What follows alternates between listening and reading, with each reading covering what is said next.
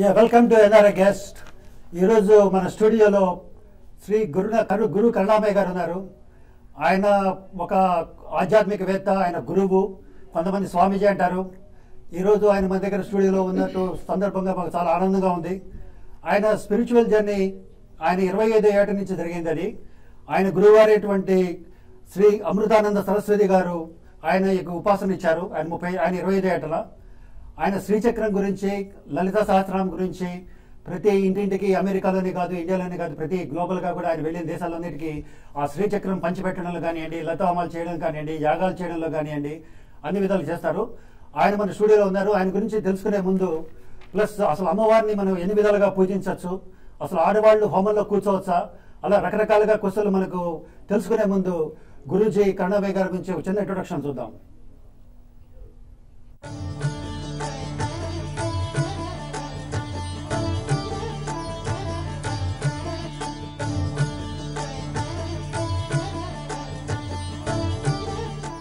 ఆధ్యాత్మిక శోభతో సర్వ జగత్తు పరిమళించాలనేది ఆయన సదుద్దేశం.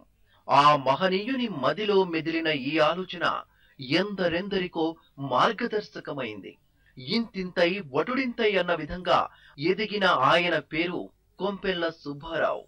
పంతొమ్మిది వందల యాభై మూడవ సంవత్సరంలో తమిళనాడు రాష్ట్రంలోని చెన్నైలో జన్మించిన సుబ్బారావుకు ఆయన మాతృమూర్తి యశోద తొలి ఆధ్యాత్మిక గురువు.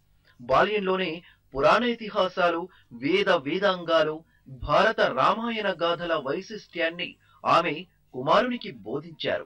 సుబ్బారావు తన ఇరవై ఐదేళ్ళ వయసులో తన గురువు అమృతానంద అమృత ఆశీస్సులతో ఆధ్యాత్మిక ప్రయాణాన్ని ఆరంభించారు. తల్లి దీవెన గురు బోధన దైవ చింతనతో దినదిన ప్రవర్ధమానంగా ఎదిగారు. సివిల్ ఇంజనీరింగ్లో పట్టా పొందిన సుబ్బారావు ఉషారత్నను పరిణయమాడి దాంపత్య ధర్మాన్ని నిర్వర్తించారు.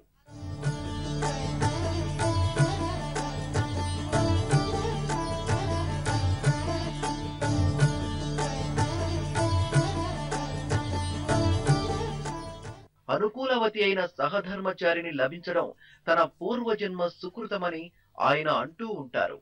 గురుదేవుల బోధనలతో భక్తి మార్గానికి పదును పెట్టారు. ఇద్దరు ఆడపిల్లలు పుట్టాక ఆయన నవవర్ణ పూజల పట్ల మొగ్గు చూపారు. అమ్మవారి కరుణా కటాక్షం పొందేందుకు ప్రత్యేక పూజలు చేసేందుకు శ్రీకారం చుట్టారు.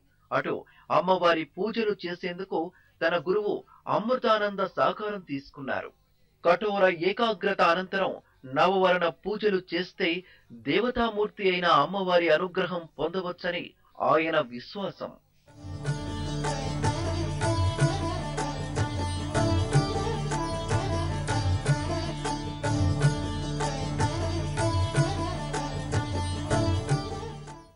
భారతదేశ సంస్కృతి సాంప్రదాయాలు హిందూ మతం వైశిష్ట్యంపై న్యూజిలాండ్లో ఉపన్యాసాలు ఇవ్వడం ప్రారంభించారు. వారాంతపు రోజుల్లో ఆయన పూర్తి అంకిత భావంతో ప్రతి ఒక్కరికి పూజలపై ప్రత్యేక తరగతులు నిర్వహించారు. ఆయన వల్లవేసే మంత్రాలకు భక్తులు మంత్రముగ్ధులవుతున్నారు. ఆయన భక్తి మార్గానికి మరెందరో ఆకర్షితులవుతున్నారు. అదే ఆయనకు మరింత శక్తినిచ్చింది. అటు తర్వాత స్వామివారు వెనుతిరిగి చూసుకోలేదు. పూజల పట్ల మరింత శ్రద్ధ వహించేలా ఖండాంతరాలు దాటి ప్రవచనాలను ఇస్తూ భక్తులకు మరింత దగ్గరయ్యారు.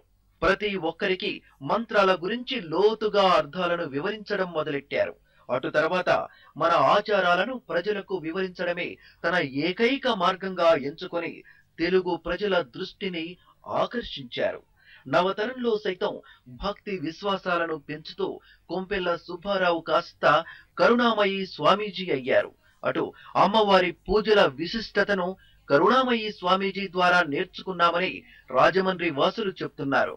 పవిత్ర గోదావరి నదీ తీరంలో ఉన్నటువంటి రాజమహేంద్రవరంలో మరి ఎక్కడో విదేశాల నుంచి తిరిగి ఇక్కడ ఈ కార్యక్రమాలు అందించాలని గత రెండు సంవత్సరాలుగా కూడా మరి అలాగే శరన్నవరాత్రి ఉత్సవాలు మనం భారీ ఎత్తున టిటిడి కళ్యాణ మండపంలో గత రెండేళ్ళలో చేసుకున్నాం. ఏడు వేల ఐదు వందలకు మించిన విద్యార్థులతో సరస్వతి మహా హోమయజ్ఞం తలపెట్టడం జరిగింది గురూజీ సమక్షంలో. రకాల రూపాల్లో అమ్మవారిని అర్చించుకోదగ్గ అవకాశం మాకు వచ్చింది. చాలా రకాలుగా శాస్త్రాల్లో ఎన్ని రకాలుగా అమ్మవారిని పూజించుకోవచ్చు అన్ని రకాల పూజలు ఆడవాళ్ళు కూడా ధైర్యంగా చేసుకోవచ్చు అని గురువుగారి ద్వారా మేము తెలుసుకున్నాము. సో ప్రతిసారి ఏ ఏ రోజు ఏది చేసుకుంటే మంచిది అమ్మవారిని ఎన్ని విధాలుగా మనం పూజించుకోవచ్చు ఆవిడ యొక్క అనుగ్రహాన్ని పొందొచ్చు అనేది మాకు బాగా అర్థమయ్యేలా చెప్పారు గురువుగారు. ప్రతిదానికి అర్థం చెప్తారు. ప్రపంచవ్యాప్తంగా కరుణామయి స్వామీజీ ఆధ్వర్యంలో నడుస్తున్న సౌందర్యలహరి పీఠాల్లో భాగంగా రాజమహేంద్రి పట్టణంలోని పవిత్ర గోదావరి తీరంలో ఈ మహత్తర పీఠాన్ని ఆరంభించారు. సౌందర్యలహరి పీఠం ద్వారా అమ్మవారిని వివిధ రూపాలలో దర్శించుకునే అదృష్టం కలిగిందని భక్తులు సంతోషం వ్యక్తం చేశారు. ఓవైపు భగవద్భక్తిని ప్రబోధిస్తూనే మరోవైపు సామాజిక సేవా కార్యక్రమాలలోనూ సౌందర్య పీఠం అగ్రగామిగా నిలుస్తోంది. మా సౌందర్య ట్రస్ట్ రాజమండ్రి శాఖ మూడు సంవత్సరాలు అయిందండి ప్రారంభించి. దీని మదర్ సంస్థ అయితే యుఎస్ఏ అమెరికాలో ఉందండి. మా గురుగారు అయినటువంటి గురు కరుణామయ్య అరుణాంబ సైత గురు కరుణామయ్య స్వామి మా సంస్థ యొక్క ముఖ్య ఉద్దేశం ఏంటంటే శ్రీ విద్య శ్రీ విద్య నేర్పడం అంటే శ్రీ విద్య అంటే ప్రపంచాన్ని భేదభావం లేకుండా చూడడమే శ్రీ విద్య మా పీఠంలో. ప్రతి సమస్యకి నివారణ ఉంది. ఏ సమస్యనైనా సరే ఎవరు సామాన్యులు కదా అందరూ కూడా శక్తివంతులే అనే చెప్పేదే మా పీఠం యొక్క ముఖ్య ఉద్దేశం. అమెరికాలో నిర్వహించిన హోమ యజ్ఞ కార్యక్రమాల్లో ఆస్ట్రేషియా రీతిలో భక్తజనులు హాజరయ్యారు. అదేవిధంగా రాష్ట్రంలోని రాజమహేంద్రిలో ఏర్పాటు చేసిన సౌందర్య పీఠం ద్వారా నిర్వహించిన సరస్వతి మహాహోమయజ్ఞ కార్యక్రమంలో ఇసుకేస్తే రాలనంతగా భక్తులు విచ్చేశారు. కృతయుగంలో ధర్మం నాలుగు పాదాలపై త్రేతాయుగంలో మూడు పాదాలపై ద్వాపరంలో రెండు పాదాలపై నడవగా కలియుగంలో ఒంటి పాదంపై కుంటుకుంటూ నడుస్తోంది. ఈ ధర్మానికి కృతయుగ వైభవం తేవాలని కంకణం కట్టుకున్న కరుణామయి స్వామీజీ అనేకానేక యజ్ఞ యాగాలు విశ్వవ్యాప్తంగా చేయాలని నిర్ణయించుకున్నారు. హోమం తర్పణం యంత్ర పూజలలో స్త్రీలు పాల్గొనవచ్చని కరుణామయి స్వామీజీ తెలియజేయడంపై హోమ కార్యక్రమంలో పాల్గొన్న విద్యార్థినులు ఆనందం వ్యక్తం చేశారు. ప్రిన్సిపల్స్ ఎలాంటివంటే ఒక స్టూడెంట్ని మార్చాలి. ఆ స్టూడెంట్ కోపం తగ్గాలి పేరెంట్స్కి రెస్పెక్ట్ ఇవ్వాలి అండ్ అగైన్ ఎల్డర్స్ కూడా. పూజ విషయంలో ఎలా ఉన్నా సరే ఇప్పుడు మేము ఉన్నాం. నేను ఇంటర్ సెకండ్ ఇయర్ కంప్లీట్ అయింది తిని బీటెక్ కంప్లీట్ అయింది.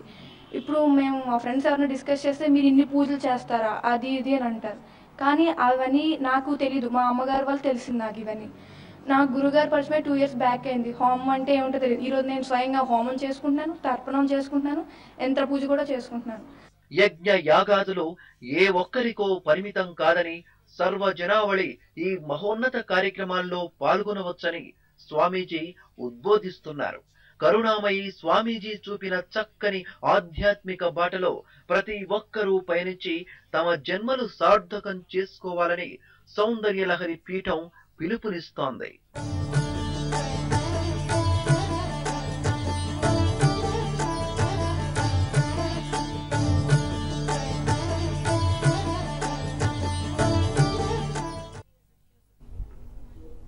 వెల్కమ్ టు ఎన్ఆర్ఐ గెస్ట్ అండి గురు కండాబాయ్ గారు మీరు ఇంత చిన్న వయసులోనే ఇరవై ఐదేళ్ళ దీక్ష తీసుకున్నారు. అసలు ఇరవై ఐదేళ్ళ వయసులోనే మీరు ఒక సివిల్ ఇంజనీరింగ్ డిగ్రీ చదువుకొని ఇంత ఇరవై ఐదేళ్ళ చిన్న వయసులో మీరు ఎట్లా ఈ ఆధ్యాత్మిక వైపుకి ఎలా అసలు రావడానికి కారణం ఏమిటంటారు ఫస్ట్? మీ గురువు గారా లేకపోతే ఇంకేమైనా కారణాలు ఉన్నాయా? ఎవరికైనా సరే ముందు గురువు తల్లే.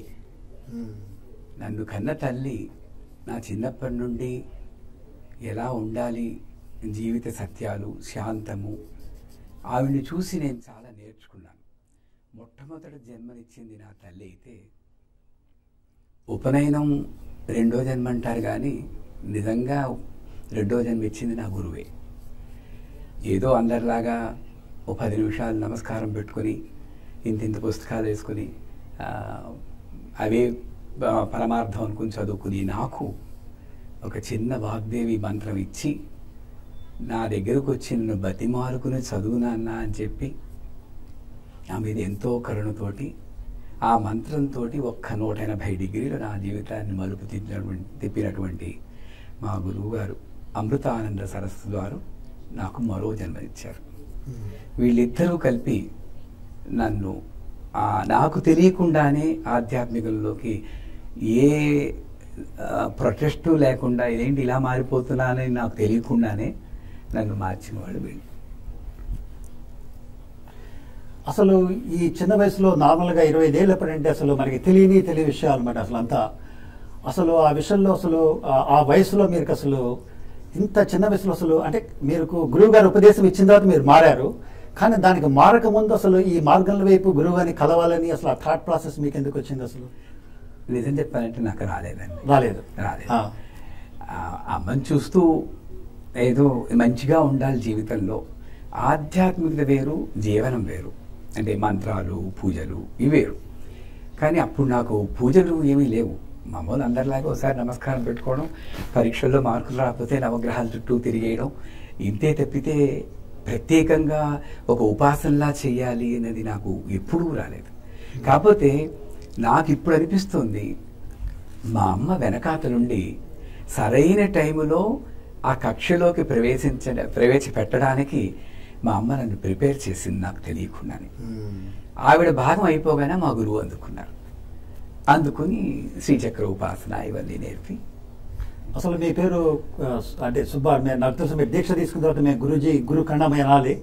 కానీ మీరు అసలు పేరు సుబ్బారావు కొంపల్లి గారు. చాలా మందికి మీరు దాని పేరు మీద కూడా తెలిసిన ఉండుంటారు. అసలు మీరు పేరు మార్చుకొని గురు కరుణామయ్య అని రావడానికి ఏమన్నా సిగ్నిఫికెన్స్ ఉందా అండి? నిజానికి పేరు మార్చుకోలేదు. ఇది- ఇదేమిటంటే ఉపాసనా మార్గంలో పూర్ణ దీక్ష అని ఒకటి ఉంటుంది. మంత్రాలు ఒక్కొక్క మంత్రం ఇచ్చినప్పుడు మహాషోడశి మంత్రం ఇచ్చినప్పుడు పూర్ణ దీక్ష అంటే అంతకుముందు ఉన్న సుబ్బారావు లేడు ఇంకా. ఇంకొక కొత్త వ్యక్తి వ్యక్తిత్వంతో ఒక ఒక్క వ్యక్తిగా మార్గదర్శకుడిగా రూపొందాలి అప్పుడు గురువే నా చెవిలో ఈ రోజు నుండి నువ్వు కరుణ ముగ్గురు కరుణామయ అని పిలువబడతామని చెప్తారు. నాకే కాదు ఎవరికైనా పూర్ణ దీక్ష ఇచ్చిన వాళ్ళకి పూర్వాశ్రమంలో ఒక పేరుంటుంది. మా గురువుగారి పేరు పూర్వాశ్రమం పేరు చెప్పకూడదు నేను. ఆయనకు ఇంకో పేరు ఉండేది. ఆయనకి వాళ్ళ గురువు గారు పూర్ణ దీక్ష ఇచ్చాక ఆయన అమృతానంద సరస్వతి అయ్యారు అలాగే ప్రతి ఒక్కరూ ఈ ఉపాసనా మార్గంలో పూర్ణ దీక్ష పుచ్చుకున్నాక వాళ్ళ తత్వాన్ని బట్టి వాళ్ళకి ఆ పేరు ఇస్తారు. ఎందుకంటే మీరు చాలా గురు కరుణామయ్య అంటే అందరికీ తెలుసు అన్నమాట. ఎవరైనా మార్కెట్లో ఎవరైనా బయట అడిగితే ఎవరికి సుబ్బారావు అనేది ఎవరండి అంటున్నారు అనమాట అందుకని అంత పాపులర్ అయ్యారు మీరు. ఇట్స్ వెరీ గుడ్ ఇంకొకటి మీరు ఈ చెన్నైలో పుట్టి మీరు ఈ దేశ విదేశాల్లో ఇంతటువంటి అతి తక్కువ కాలంలో మీరు చాలా పేరు ప్రఖ్యాతలు సంపాదించారు. లాస్ట్ టైం నాకు తెలిసి మీరు న్యూ జెర్సీలో లాస్ట్ ఇయర్ వచ్చినప్పుడు దగ్గర దగ్గరగా ఈ రెండు వేల మంది యోగ యజ్ఞంలో హోమంలో పాల్గొన్నారు. అసలు పిల్లలకి వాగ్దే వాగ్దేవత. యజ్ఞం చేపించారు అసలు అంటే లాస్ట్ ఇయర్ ఏమేమి చేపించారండి ప్రేక్షకులు చెప్తారా మా ఆడియన్స్కి మొదటిది అసలు శ్రీ విద్యలో నేను అందరికీ చెప్పేది మిమ్మల్ని క్షమించాలి మిమ్మల్ని ఏమి అడ్డుకుంటున్నట్టు నేను చేయించేను అన్న భావం ఉండకూడదు ఉండకూడదు. కానీ ఇది ప్రాపంచికంలో మీరు ప్రశ్న అడిగారు కాబట్టి నేను చెప్పాల్సి చెప్పాలి. వస్తుంది అన్ని అమ్మ నా చేత చేయించింది. ఎంతో అదృష్టం ఉండాలి. ఏదో మామూలుగా ఒక జీవిలా పుట్టి ఏదో చిన్న కుటుంబంలో రాలిపోయేటువంటి ప్రాణం కాకుండా ఇంత గొప్ప జీవితాన్ని నాకు ఇచ్చింది అంటే అమ్మ అనుగ్రహమే. ఆ అమ్మ అనుగ్రహంతో సంకల్పము అమతిర్మేధ శృతి స్మృతిర్ అంటాం అంటారు అమతిర్ అంటే ఆలోచన కన్నా ముందున్నది. మీరు నన్ను ఇంటర్వ్యూ చేయాలన్నా నేను అక్కడ శ్రీచక్రం గీయాలన్నా ఆ రెండు ఆలోచనలకి ముందు అమ్మ ఉంది. అంటే అమ్మే నాకు అనుగ్రహం ఇచ్చి అరవై నాలుగు వేల ఐదు వందల చదరపడుగుల్లో ఒక శ్రీచక్రాన్ని గీసి నూట ఎనిమిది హోమగుండాలు పెట్టి మీరు కూడా వచ్చారు రెండు వేల మంది వచ్చారు వరల్డ్ రికార్డు కూడా అయిందని వరల్డ్. రికార్డ్. అయింది అక్కడ హోమం చేయించాం తర్వాత చిన్నపిల్లలు మనకు ఒక మిస్నామర్ ఉంది ఈ అంటే పెద్దవాళ్ళకి ఉంది నలభై ఏళ్ళు వస్తే తప్పితే మనకి భక్తి అక్కర్లేదు. మరీ ఎక్కువైపోతే సన్యాసుల్లో కలిసిపోతారు. అని అంటే ఏదో చాలు ఇంతకన్నా. అని. అంటే పిల్లలు భక్తి మార్గంలోకి రావట్లేదు. ఎంతసేపు ఎంక్యాటు జీక్యాటు ఎస్ శాట్లు వాటిలో మునిగి ఉన్నారు.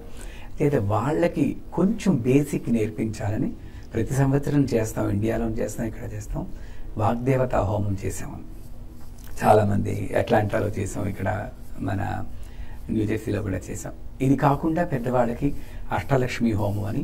దానికన్నా ముఖ్యమైందంటే ప్రతి ఏడాది నేను వచ్చినప్పుడు మనకి మంత్రాలు ముఖ్యమే పూజలు ముఖ్యమే. దానికన్నా పూజల నుండి ముందు బయటకు వస్తే సంసారం కనబడుతుంది. పూజను నేను నేర్చుకుంటే పర్లేదు. ఒక మొనాటనస్ రిచువల్ కింద తీసుకున్నప్పుడు సంసారాన్ని ఎలాగా ఎదుర్కోవాలో నాకు శక్తి ఉండట్లేదు. అంచేత మేము మ్యారేజ్లో హస్బెండ్ అండ్ వైఫ్ రిలేషన్షిప్స్ ఎలా ఉండాలి భార్యాభర్తల సంబంధాలు ఎలా ఉండాలి దానికి ఈ మంత్రాలు ఎలా పనికొస్తాయి? అలాగే తల్లిదండ్రులు పిల్లల రిలేషన్స్ అందులో ఈ అమెరికాలో ఎక్కువ కావాలి మనకు ఆ సపోర్ట్.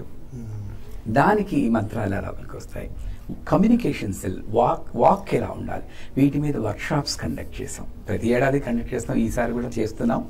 అలాగే లాస్ట్ ఇయర్ కూడా చేసాం అనమాట వెరీ గుడ్ అండి నాకు తెలిసి వ్యూవర్స్ చూస్తున్నారు కదండి మన స్క్రీన్ మీద కనబడుతున్న నెంబర్స్ కాల్ చేసి గురు కరుణామయ్య గారితో మాట్లాడండి కాల్ చేయొచ్చండి.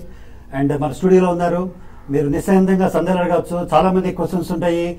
అసలు మనకు హోమాలు ఎందుకు చేయాలి? అసలు ఆడవాళ్ళు పాల్గొనవచ్చా? అసలు అమ్మవారిని ఎన్ని విధాలుగా మనం పూజించవచ్చు? ఇవన్నీ మనం తెలుసుకోవాలంటే గురు కరుణామయ్య గారు మన స్టూడియోలో ఉన్నారు. అడిగి తెలుసుకోవచ్చు. ఇది మంచి చదువుకోవచ్చు మనకి. సో అట్లాగే నాకు తెలిసి మీరు ఎన్ని గొప్ప కార్యక్రమాలు అన్ని సౌందర్య లహరి ట్రస్ట్ అని చేసి దాని మీద చేస్తున్నారు. అసలు ఈ సౌందర్య లహరి ట్రస్ట్ అసలు పెట్టడానికి కాన్సెప్ట్ ఏంటండి అసలు? అంటే దానికి ఎందుకు మీరు పెట్టాలనిపించింది? నేను పదిహేనేళ్ళ క్రితం అమెరికాకు వచ్చినప్పుడు అప్పటికే నాకు ఈ ఆధ్యాత్మిక చింతన గురువు గారితో దీక్ష తీసుకోవడం అవన్నీ ఉన్నాయి. ఏదో ఒకటి చేయాలి. ఏదో ఇక్కడికి వచ్చి సాఫ్ట్వేర్గా సాఫ్ట్వేర్ డెవలప్మెంట్ చేసి డబ్బులు సంపాదించడం కాదు. అది భక్తికి ఉండాలి. ఉండాలి. కానీ నా ఖాళీ టైం చాలా ఉంది. ముక్తి కూడా ఉండాలి. ముక్తి కూడా ఉండాలి. సో తరతి తరతి అనేది నాకు బాగా పట్టుకుపోయింది. నేను తరించాలి. ఇంకోళ్ళు కూడా తరింపజేస్తే అది ఇంకా మంచిది అన్నది ఉద్దేశం వచ్చి కేవలం నాలుగు నలుగు నందుల సుజాత గారు ఉప్పల రాధిక గారు ఆ, రమా పుచ్చ గారని ఒక నలుగురితోటి సత్సంగం పెట్టుకునే వాళ్ళం సో రెండు వేల సంవత్సరంలో. రెండు వేల సంవత్సరం. దగ్గర పద్నాలుగేళ్ళు పద్నాలుగేళ్ళు అప్పుడు శుక్రవారం నలుగురే వచ్చేవారు. లలిత సహస్రనామానికి అర్థాలు చెప్పేవాడు నిజానికి నేను సంస్కృతం చదువుకోలేదు. ఉపనిషత్తులు నాకు తెలియవు. కానీ గురువుని తలుచుకునేవాడిని అమ్మని తలుచుకునేవాడిని. ఎక్కడి నుండి వస్తుందో అర్థాలు దానంతటా వాళ్ళకి చెప్తూ నేను నేర్చుకునేవాడిని మీరు నంబర్ కూడా. వాళ్ళకి చెప్తూ నేను నేర్చుకునేవాడిని. అట్లాగా ఒక ఐదు సంవత్సరాలు లలిత శాస్త్రం గురించి చెప్పాను. ఐదేళ్ళు. ఐదు సంవత్సరాలు. ఆ మధ్యలోనే సౌందర్యలహరి అని సంస్థ స్థాపించాలి. ఇక్కడ పిల్లలకు కూడా కాస్త మంచి చెడ్డలు నేర్పించడం కల్చర్ నేర్పించడం ఉండాలి అని బాలలహరి అని పెట్టి ఇప్పుడు నడుస్తుంది బాస్టన్లో ఎనభై. ఎనభై మంది పిల్లలు. వెరీ గుడ్ అండి. ప్రతి శుక్రవారం వచ్చి ధ్రువుడు ప్రహ్లాదుడు ఈ కథలు నేర్చుకోవడం సత్యాన్ని పలకాలి పెద్దల్ని ప్రే గౌరవించాలి అవన్నీ నేర్చుకోవడం వాళ్ళకి పరీక్షలు పెట్టడం అన్నీ ఉన్నాయి. ఇవన్నీ స్థాపించాలని అప్పుడు కలిగి అమ్మవారు కలిగించింది స్థానం అలాగే నేను ఇండియా వెళ్ళాక అక్కడ కూడా సౌందర్య లహరి ట్రస్ట్ అని పెట్టి ఇదే పేరుతో. నాకు సౌందర్య లహరి అంటే చాలా ప్రాణం. శంకరాచార్యులు వారు రచించింది. అందులో అమ్మని ఆయన వర్ణించినట్టు ఇంకెవరు వర్ణించలేదు. అందుకని ఆ పేరే పెట్టుకుని అక్కడ కూడా ఇక్కడ ఏ కార్యక్రమాలు అయితే చేస్తున్నానో ఇంకొంచెం పెద్దగా ఎక్కువ చేయొచ్చు అక్కడ. జనాలు ఎక్కువ వస్తారు. ఆరు వేల మంది విద్యార్థులు చేశారు ఈ ఏడాది సరస్వతి హోమం. అక్కడ కూడా ఈ హోమాలు. ముఖ్యంగా ఏంటంటే ఇది సౌందర్యాన్ని స్థాపించడంలో ఉద్దేశం అడిగారు కనుక చెప్తున్నాను.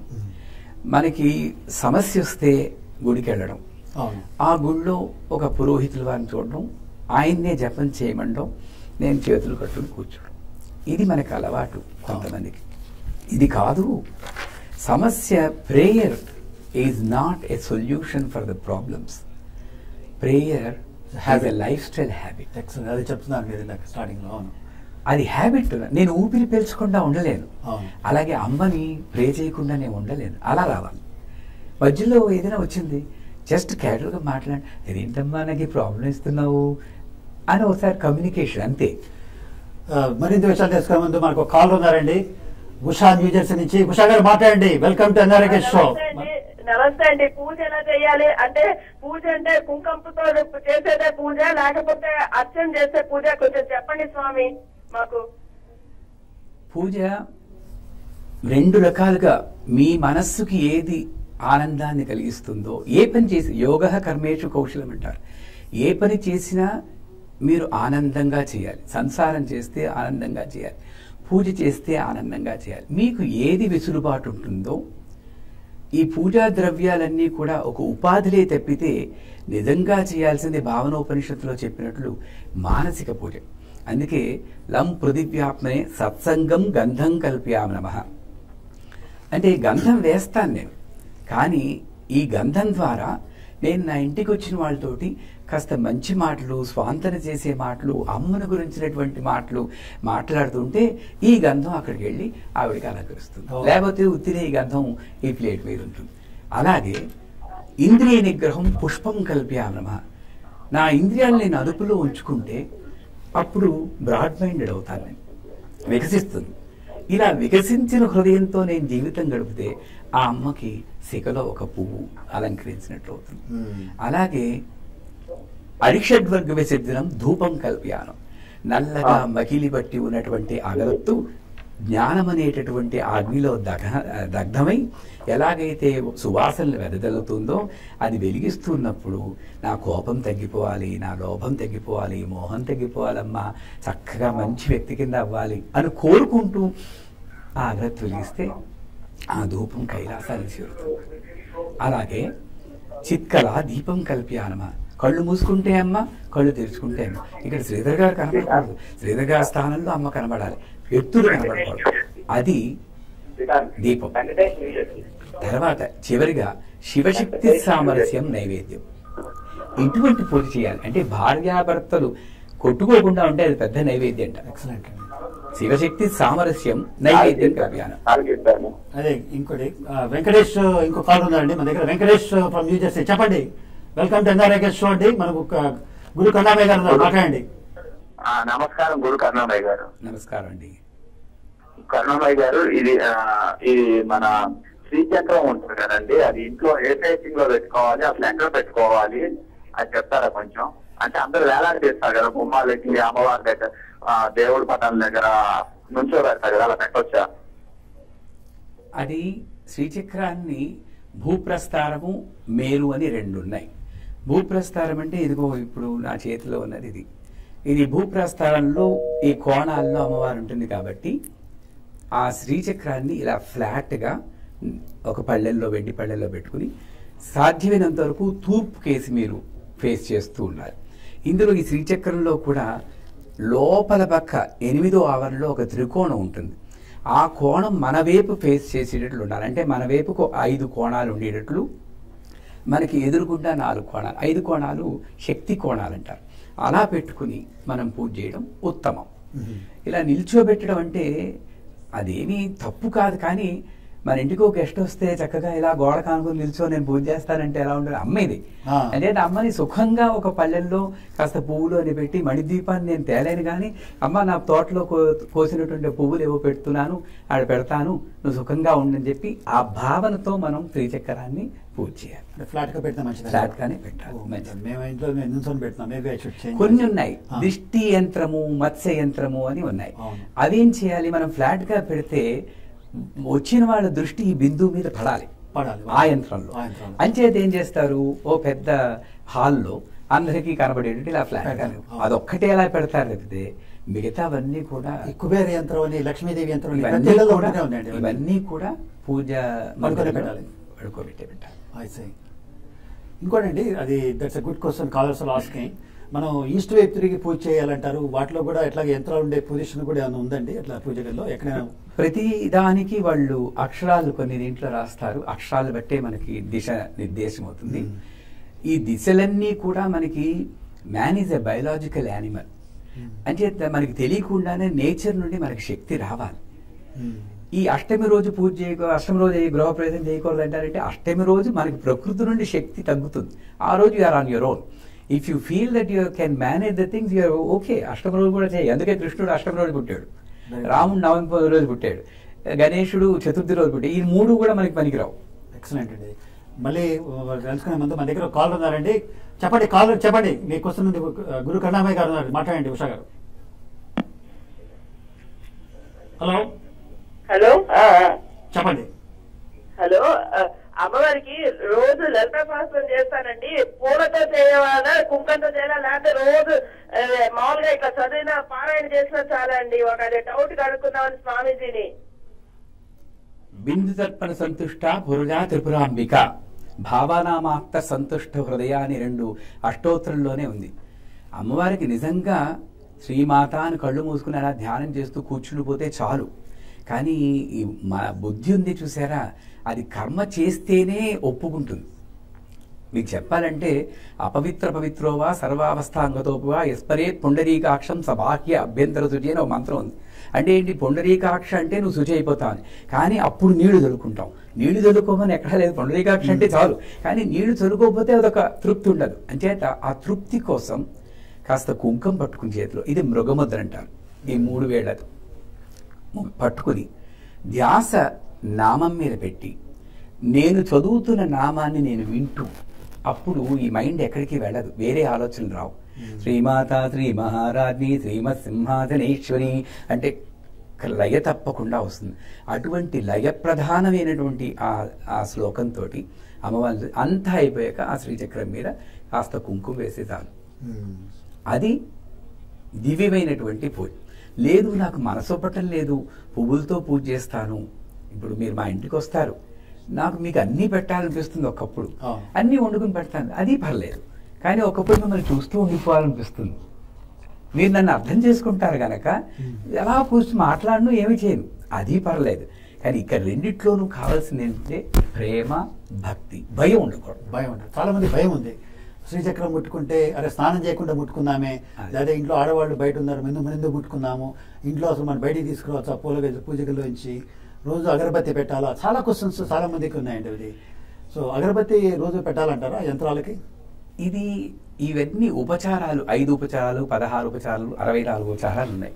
మన వీళ్ళు బట్టి చెయ్యొచ్చు ఈ అగరబత్తి పెట్టడమే ఉపచారము కాదు అన్న తెలపడం కోసమే సౌందర్యాలు పెట్టాం. అగరబత్తి వెలిగించినంత మాత్రాన్ని అక్కడ దేవత ప్రసన్నమవుదు. అగరబత్తి వెలిగించకపోయినంత మాత్రాన్ని కోపం రాదు. ఈ అగరబత్తి వెలిగిస్తూ ఉపాధులు సంసారం ఒక ఉపాధి. ఆ భర్త ఒక ఉపాధి భార్య ఒక ఉపాధి. వాళ్ళని చూసి నేను నేర్చుకుంటూ నేను నన్ను మార్చుకోవాలి. అలాగే అగరబత్తి వెలిగిస్తూ నా కోపాన్ని తగ్గించుకుంటే అప్పుడు ఆ పూజ అమ్మని చేరుతుంది. ఓకే అండి దట్స్ గుడ్ థింగ్ అది మనకి ఇంకో కాల్ ఉందండి. సుధాకర్ గారు మాట్లాడండి. వెల్కమ్ టు ఎన్ఆర్ఐ షో అండి. గురు కన్నామే గారు ఉన్నారు. మాట్లాడండి. ఆ, నమస్కారం అండి. గురువు గారు చెప్పండి. నమస్కారం. నాకు రెండు క్వశ్చన్స్ ఉన్నాయి. ఒక క్వశ్చన్ వచ్చేసి జీవితము యొక్క పరమార్థము ఏమిటి? ఏమండి? దయచేసి మీరు కొంచెం టీవీ వాల్యూమ్ తగ్గించి మాట్లాడతారండి. అలాగే. జీవితము యొక్క పరమార్థం ఏంటి జీవితం యొక్క పరమార్థం?